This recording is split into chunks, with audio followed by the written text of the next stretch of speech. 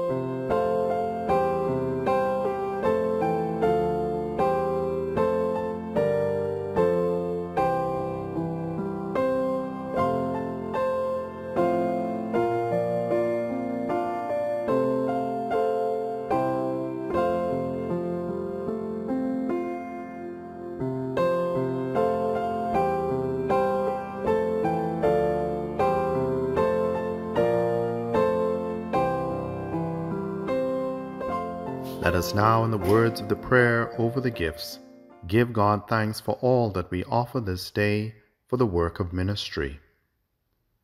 Father, your word creates in us a yearning for your kingdom. Receive all we offer you this day, and keep us in your peace, for the sake of Jesus Christ the Lord. Amen.